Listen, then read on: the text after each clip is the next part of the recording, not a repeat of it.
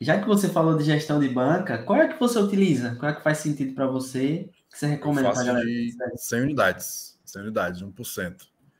Aí eu me sinto mais. Porque assim, eu, eu sou um cara que volumo bastante, né? Se eu fosse uma gestão mais agressiva, no dia de green seria maravilhoso, né? Mas no dia de red, então assim, tem dias que eu faço menos 4. Mas tem outro. Aí eu vou. Nos outros dias fazendo menos 3, menos 4. Aí eu vou pegando. Tirando o red que eu, que eu pego, né? Então, assim, eu sou um cara que tem dias na NBA que tem 13, 14 jogos. Aí eu faço 10 entradas no dia, né? Então tem tem mês que eu faço 200, 300 entradas na NBA. Então se eu, se eu ficar muito exposto, né, eu, eu não me sinto tão confortável. Então eu prefiro trabalhar de forma mais segura. Também isso me passa confiança e também deixa os clientes mais tranquilos, né? Ficar muito exposto, porra, o cara bateu aqui 10 unidades pré, né? Motor 20 unidades pré. Aí o, o cara também não tem tanto capital para aguentar no grupo VIP. Então eu vou mais suave tanto para mim, tanto para os clientes também. Essa relação de unidade dividida vai muito de quanto você aposta, né? Se você faz um volume alto, você tem que ir mais seguro para você não comprometer tanto o capital. Muita gente erra, cara, na gestão de banca. Infelizmente, muita gente que tem banca baixa, por exemplo, e fala assim: ah, eu não vou seguir uma gestão, eu vou fazer uma gestão mais agressiva até eu chegar em determinado patamar. Quando eu chegar nesse patamar aqui, Aí eu sim eu vou fazer uma gestão. O que você pode dar de dica para a galera que, sei lá, tem banca baixa? E aí, na verdade, às vezes acaba errando nesse ponto, que às vezes parece ser básico, né? Mas muita gente acaba errando justamente por isso, por não é, agir profissionalmente, de fato. Exato. Até me, me fez lembrar, semana passada tinha um cara que queria entrar no meu VIP. Aí ele falou assim: Cara, eu só tenho mil reais. Eu falei, pô, beleza, mil reais Aí ele, qual a tua gestão? Eu falei, 1%. Aí, pô, vou apostar 10 reais? Eu falei, vai. Aí eu mostrei para ele, ó, eu fiz, ano passado eu fiz 90 unidades. Multiplica aí, quanto tu ia ganhar. Ah, mas de 10 em 10... Cara, eu fiz uma odd de 51. Pega aí, quanto tu ia ganhar. Então, assim, vai ter dias que você vai ganhar bem, vai ter dias que você não vai ganhar. Então, assim, você tem que ter calma, bicho. É calma, eu sei que é difícil. Eu comecei apostando 5, 10 reais também, cara. Todo mundo começou, ninguém começou com uma banca gigantesca. Até porque, se eu começasse com uma banca gigantesca, sem ter o estudo, sem ter a, a, a mentalidade de, cara, eu vou perder nesse dia, eu ia perder, eu ia perder o dinheiro rapidinho. Pô, se me desse 20 mil reais em 2015 para começar, em um mês eu teria perdido, até menos, acho né? Então eu vejo a galera assim, o cara começa com 500, aí primeira entrada dele já bota 100 reais. Putz, cara, vai devagar. Então eu tava até fazendo uma fisioterapia no meu joelho, aí um cara, pô, eu faço aposta. Ah, pô, tu trabalha? Pô, vou fazer. Aí ele abriu a conta, tal, ele botou lá, dinheiro alto.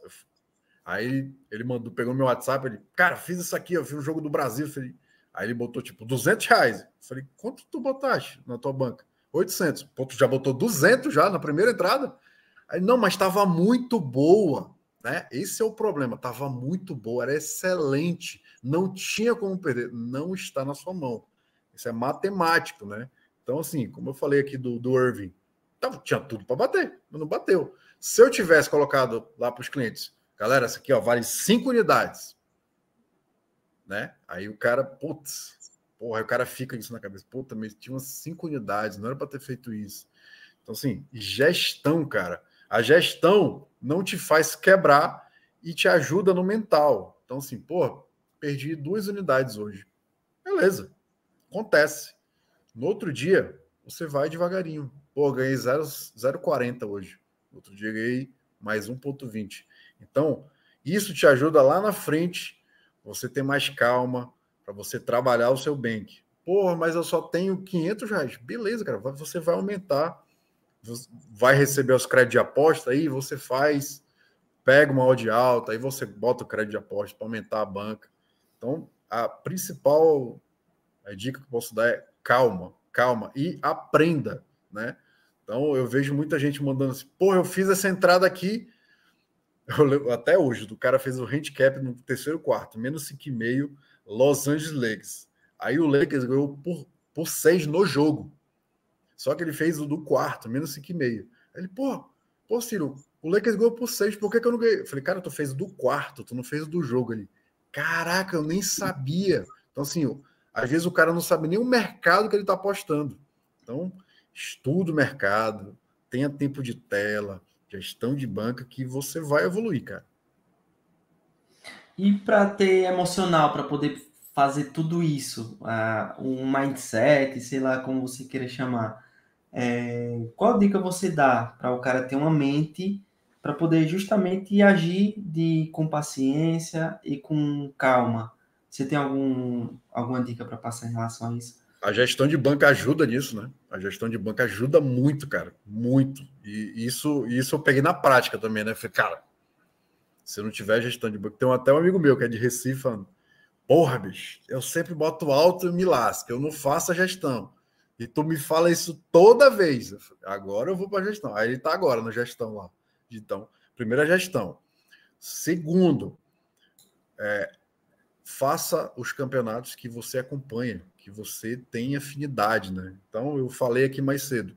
Futebol europeu, se você me ver mandando alguma coisa no Instagram, no, no Telegram, não vai então, porque eu não acompanho, cara. Eu não acompanho a Premier League. Eu vejo um ou outro clássico, beleza. Então, assim, eu vou no que eu acompanho. No futebol, futebol brasileiro. No basquete, a NBA, WNBA, mercado de seleções, aí eu acompanho tudo. Ah, campeonato chinês, não sei nem para onde vai. NBB, faço muito pouco. Então, assim, faça os campeonatos que você tem mais afinidade, que você tem mais informação, né? E também os mercados. Não invente mercados. Pô, tem um mercado aqui de margem de vitória. Tem um cara que fala assim: porra, essas cotações pagam alto, né, Ciro? Falei, pô, o cara, margem de vitória de 10 a 15, te pagando 6. Ah, eu vou nisso aqui. Qual é o estudo que tu tem nisso? Não tem estudo nenhum. Tu tá no chute, né? Então, as pessoas às vezes quer, ficam de olho nos influencers que pegam aquelas odds altíssimas, né? Às vezes o cara é um fake money, cuidado, né? Então tenham muito cuidado. Sigam pessoas honestas, sigam pessoas que realmente cuidam do capital, cuidam do dinheiro e querem também é, ensinar vocês, né? Então, nosso próprio amigo Serginho, o Eric Feitosa, que também é, é parceiro dele, cara sensacional, que fica sempre passando dicas para vocês. Tem muita gente, Danilo Pereira, Paulo Barreto. Então, sigam pessoas que realmente estão com vocês e querem ensinar, pegar vocês na mão e ensinar precificação e tudo mais. Muito bom.